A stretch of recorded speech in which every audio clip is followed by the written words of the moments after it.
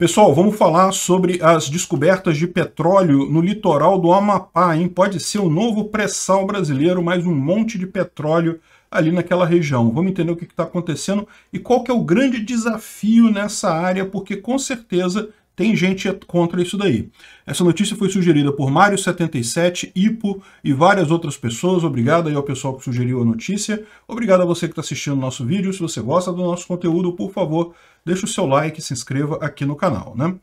Pois bem, olha que coisa, né? Isso aqui não é descoberta nova, já haviam descoberto esses campos lá no Amapá, mas só agora a Petrobras conseguiu, depois de muito suor, a licença ambiental para começar a exploração desses campos. Que campos são esses? São os campos na chamada Foz do Amazonas. Essa região aqui, ó. Aqui é o Rio Amazonas, a gente está vendo o Brasil aqui, o norte do Brasil. Aqui está o Rio Amazonas e uh, nessa região aqui no litoral do Amapá é onde tem essa grande reserva de petróleo aqui que vai começar a ser explorada agora. A Petrobras vai furar o primeiro poço agora. É uma, uma lâmina de 2.800 metros de profundidade então, é, deve ser uma, um, projeto complicado, porque, lembra, aqui no Rio de Janeiro, é, nas bacias aqui próximas, Rio, Espírito Santo, São Paulo e coisa e tal, é relativamente fácil porque já tem toda a, a infraestrutura para exploração de petróleo aqui próximo. Lá no Amapá, tudo vai ter que ser criado do zero, na região. Né? Ah, lógico, é, é, já tem alguma base lá, mas é muito pouca coisa até aqui. Vai ter que ser tudo expandido e coisa e tal, muita coisa vai ter que ser construída.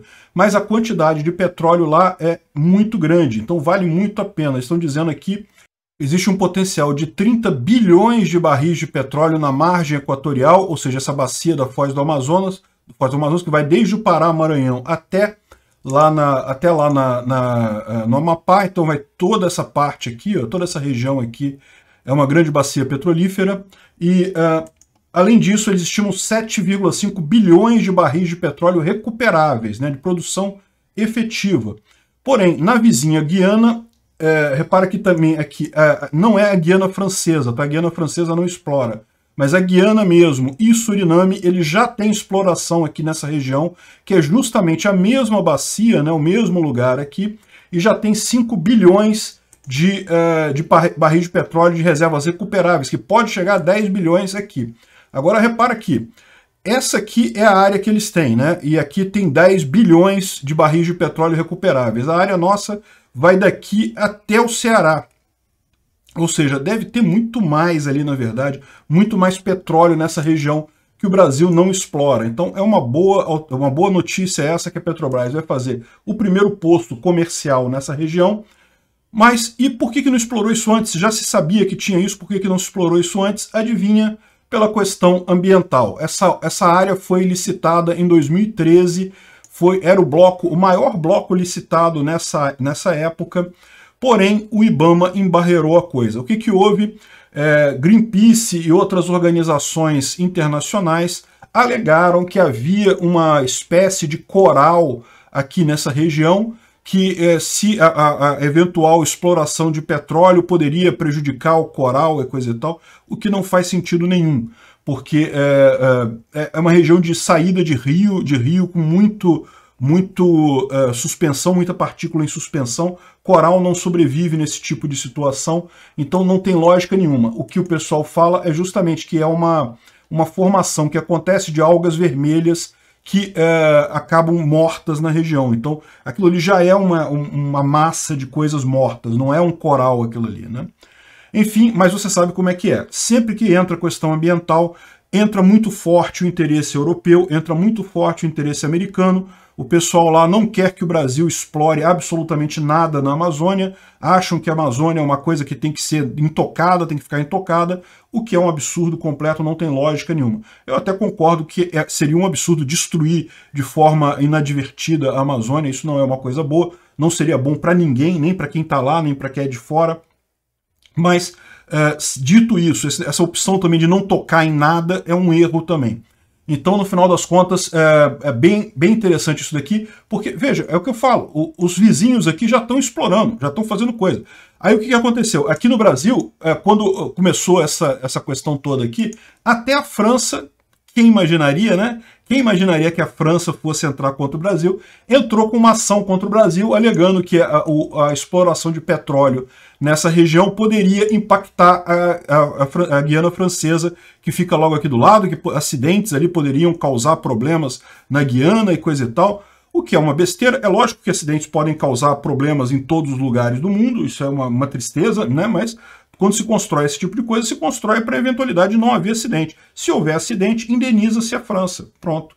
E sem contar que os vizinhos do lado de cá não tem problema. Os vizinhos do lado de cá eles não se importaram de fazer, de explorar o petróleo aqui. Só o Brasil que não pode explorar aqui, porque né, a gente sabe que no final das contas não tem nada a ver. Esse pessoal usa a pauta ambiental para tentar frear o desenvolvimento do Brasil no norte. É, é isso que eles fazem, isso é mais do que claro em qualquer situação que você veja. Eles usam essa pauta ambiental. Não é o ambiente o problema nesse caso, não tem coral nenhum aqui, o que tem é essa planta vermelha, alga vermelha morta, e é, tanto que aqui o pessoal fez a mesma coisa, não teve problema nenhum. Pode ser que afete um acidente de uma plataforma que pode afetar a Guiana? É verdade, pode afetar. Mas é o que eu disse, esse tipo de coisa, plataformas no mundo todo têm esse problema, podem afetar países vizinhos. Não tem nada a ver isso daí, então, é, finalmente, depois de muita luta, desde 2013, agora a Petrobras conseguiu a licença para fazer o primeiro poço, e ainda vai ser um poço experimental. Ela vai fazer esse poço para ver se está tudo certo, se não tem problema ambiental, se não gera nenhuma consequência indesejada, mas é um primeiro passo, tudo dando certo. Muito em breve a gente vai ver mais, é, mais ação lá. E isso é bom para todo mundo. É bom para o pessoal que mora ali no Amapá, que tenha, vai ter uma economia agora derivada. Pergunta para o pessoal que é aqui de Macaé, aqui no Rio de Janeiro. Tem muita gente lá que vive da, da economia devido ao pessoal que vai nas plataformas, que faz toda essa parte. É, isso traz muita riqueza para a região em que há exploração de petróleo, né? Então, é uma boa notícia para o pessoal lá no Amapá e é uma boa notícia para nós no Brasil como um todo, porque você vai ter mais petróleo. O petróleo um dia vai acabar, é verdade. Todo mundo sabe que o petróleo um dia será substituído por outras fontes de energia elétrica. Mas até chegar lá, eu acredito que a gente ainda está pelo menos uns 50 anos ah, na frente aqui, ainda tem uns 50 anos ainda de exploração de petróleo aí sem problema nenhum, né? Enfim, é uma excelente notícia essa exploração. Finalmente conseguiram vencer essa barreira ambiental. E aí que eu falo, será que um, a esquerda na presidência, a gente conseguiria vencer essa barreira uh, uh, ambiental, ou o pessoal ia acabar jogando mais para ajudar a, a França, para fazer, tirar fotozinha bonitinha do lado do Macron e coisa e tal, e acabar deixando a economia da região ali meio que entregue ao Deus dará, né? Eu, sinceramente, tenho medo disso, porque eu vejo que muitos países ocidentais estão ajudando Lula, estão fazendo força o Lula ser eleito, eu fico imaginando qual será o preço que eles vão cobrar do Lula numa eventual eleição dele, se não vai ser justamente embarrear essas coisas todas de desenvolvimento da região norte, né? E certamente Lula, se vier a ser eleito, eu não acredito que vai ser, tá? Acho muito pouco provável. Mas se isso acontecer, ele vai ser um presidente fraco, então no final das contas, provavelmente vai acabar na mão desse pessoal. Obrigado por assistir o vídeo até o final. Além de curtir, compartilhar e se inscrever no canal, considere se tornar patrocinador com valores a partir de R$ 1,99. Clique no botão Seja Membro abaixo para saber as condições e vantagens de patrocinar o canal. Mais informações sobre o nosso projeto, visite nossos sites indicados na tela.